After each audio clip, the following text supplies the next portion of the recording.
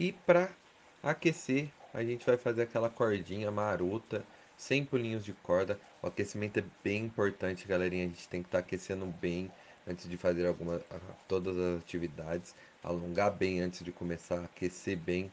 Corda é um excelente exercício para isso. Ela ajuda bastante no nosso dia a dia, no nosso cardio também, nossa explosão muscular. Então é muito importante a corda aí, bater um pouquinho de corda na semana, uma vez ou outra, né? Cada um dia sim, um dia não, também já ajuda bastante no nosso dia a dia para ter um resultado bacana no nosso treino e é um excelente aquecimento, né, galerinha?